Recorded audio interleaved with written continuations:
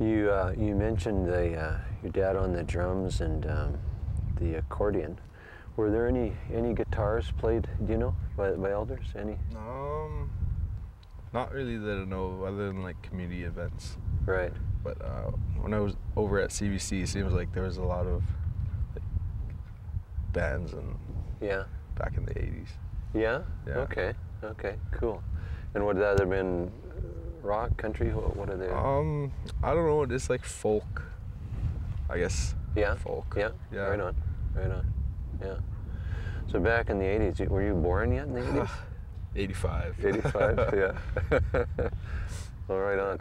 It's really great to see uh, keeping it going. You you got some old sounds going, you know, some old influences. For an old guy like me, that's pretty cool. But you're you're bringing a pretty pretty fresh perspective on it. Cool. Yeah, Josh, thanks. Yeah. Thanks No for problem. being part of the mix. Yeah. Here in Iqaluit. How do you say your last name, Josh? Gammere.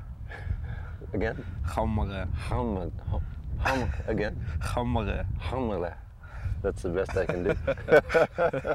With Josh here in Iqaluit on the mix.